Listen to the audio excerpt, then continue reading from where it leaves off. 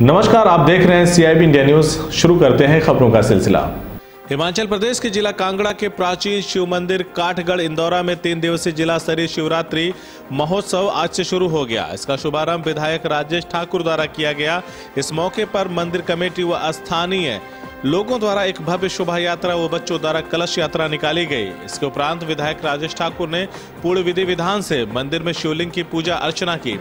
तत्पश्चात दीप प्रज्वलन कर मेले का शुभारंभ भी किया। इस मौके पर विभिन्न स्कूलों से आए छात्र छात्राओं ने भगवान शिव पर अपनी प्रस्तुतियाँ दी।